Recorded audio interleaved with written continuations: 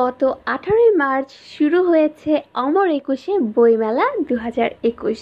গণভবন থেকে ভার্চুয়ালি বইমেলা উদ্বোধন করেছিলেন প্রধানমন্ত্রী শেখ হাসিনা। উদ্বোধনের পরই মেলা উন্মুক্ত হয় সবার জন্য। প্রতি বছর ফেব্রুয়ারি মাসে বইমেলা শুরু হলেও মহামারী করোনা ভাইরাসের কারণে এবছর বইমেলা শুরু হয়েছে মার্চের আঠারো তারিখ থেকে। চলবে চোদ্দই এপ্রিল পর্যন্ত। বইমেলার মূল প্রতিপাদ্য বঙ্গবন্ধুর জন্ম, শতবর্ষ ও স্বাধীনতার সুবর্ণ জয়ন্তী। গত বছর বইমেলা শেষ হওয়ার পরপরই শুরু হয় মহামারী করোনা ভাইরাস সংক্রমণ। সংক্রমণ কমে আসলেও টানা কয়েকদিন ধরে এই সংক্রমণ বাড়ছে। সব সংখ্যা ছাপিয়ে এবার গতবারের চেয়েও দেড় মাস পিছিয়ে শুরু হয়েছে অমর একুশে বইমেলা দু হাজার একুশ। তবে শিক্ষা প্রতিষ্ঠান বন্ধ থাকায় এবার শিক্ষার্থীদের মনে পাঠের খোরাক যোগাবে বইমেলা। অমর একুশে বইমেলা বিকেল তিনটা থেকে শুরু হয়ে রাত নয়টা পর্যন্ত খোলা থাকবে। ছুটির দিন বেলা এগারোটা থেকে রাত নয়টা চলবে।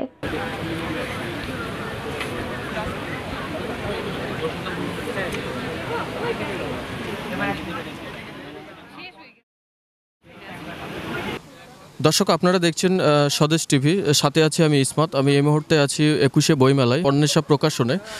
আমি একটু কথা বলব অন্বেষা প্রকাশনের পরিচালকের সাথে। গত বছরের তুলনায় এই বছরে আপনারা কেমন বই বিক্রি করছেন? আসলে এবছর তো বলা যায় ফাল্গুনের মেলা চৈত্রে শুরু হয়েছে। তো আমাদের যারা পাঠক, তারাও প্রথম দিকে একটু আসলে কম জেনেছে যে মেলাটা শুরু হয়েছে, আর সাধারণত পাঠক আমরা প্রথম সপ্তাহে একটু কমই পাই। আশা করছি এই শুক্রবার বা আগামীকাল বৃহস্পতিবার এর, এই সময় থেকে আমরা পাঠক মানে বেশি পাবো। তবে প্রথম থেকে যারা আসছে এবার দর্শনার্থী বলি আর পাঠক বলি, সবাই আসছে মেলায়, ঘুরছে বেশ স্বাচ্ছন্দ্যভাবে এবং পছন্দ মতো বইও কিনছে। গত বছরের তুলনায় আপনাদের এই বছরের নতুন চমকটা কি? চমক বলতে আসলে আমরা তো সবসময় গল্প, উপন্যাস গবেষণাধর্মী বই সব ধরনের কবিতা এগুলো বের করে থাকি। তবে এবার যেহেতু স্বাধীনতার সুবর্ণ জয়ন্তী এবং বঙ্গবন্ধুর জন্ম শতবার্ষিকী তো সেই উপলক্ষে আমরা মুক্তিযুদ্ধ বিষয়ক বই, বঙ্গবন্ধুর বই, এই ধরনের বইগুলোকে বেশি প্রাধান্য দিয়েছি। আচ্ছা বাচ্চাদের জন্য আপনারা এবছরে বছরে কি কি বই এনেছেন?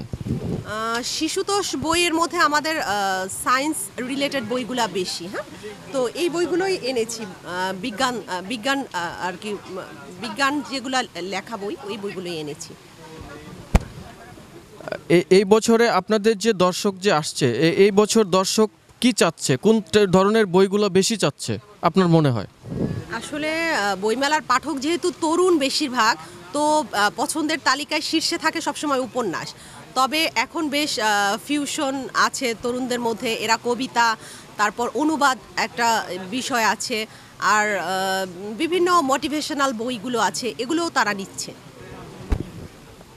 আপনা, আপনাদের এখানে আপনাদের স্টলে আমি হুমায়ুন আহমেদের কিছু ইয়া দেখলাম, বই দেখলাম। হুমায়ুন আহমেদের আপনাদের কি পরিমাণ বই আপনারা এখানে রাখছেন? হুমায়ুন আহমেদের আমাদের সাতাশটি উপন্যাস রয়েছে। তো এখন তো আর নতুন বই আসছে না। ওগুলোই আছে আর বিভিন্ন ভলিউম আছে যেগুলো আমরা হয়তো আগে সিঙ্গেল বই ছিল। এগুলোকে আমরা ভলিউম করে নিয়েছি। সমগ্রগুলো আছে। এগুলোই আছে। আপনি এই বইমেলার থেকে কেন্দ্র করে আপনি প্রত্যেকটা প্রকাশনকে মানে কীভাবে উৎসাহ করবেন যে বইগুলো সবার মাঝে ছড়িয়ে দেওয়া যায়, এটা মানে আপনার মতামতটা কি? আসলে বই তো আমাদের জ্ঞানের আধার। বই না পড়লে জাতি কখনোই আলো, আলোর পথ দেখবে না। তো আমি সকল পাঠককেই সকলকেই আহ, আমন্ত্রণ জানাব যে সবাই যেন বইমেলায় আসে বই কেনে। বই আসলে আমাদেরকে একমাত্র মুক্তি দিতে পারে। ধন্যবাদ আপনাকে।